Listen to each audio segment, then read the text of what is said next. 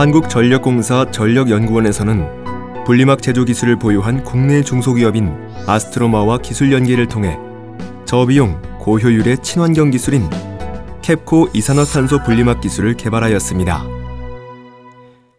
세계 최초로 분리막 상업용 양산 설비를 구축하고 세계 최대 규모인 1메가와트급으로 실증을 완료하였으며 이를 통해 필리핀 내 100톤 규모의 액화 이산화탄소 플랜트를 수주하였습니다.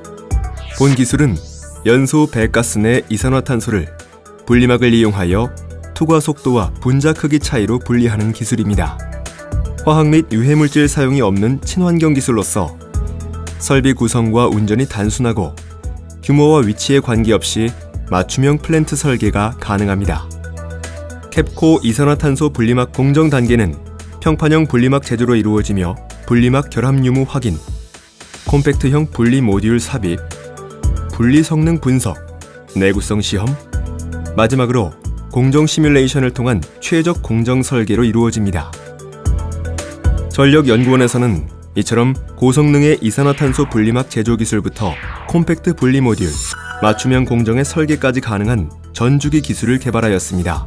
또한 맞춤형 설계로 자체 개발한 1메가와트급 분리막 테스트 베드는 발전소에서 배출되는 이산화탄소를 순도 96%, 포집률 90% 이상으로 분리합니다.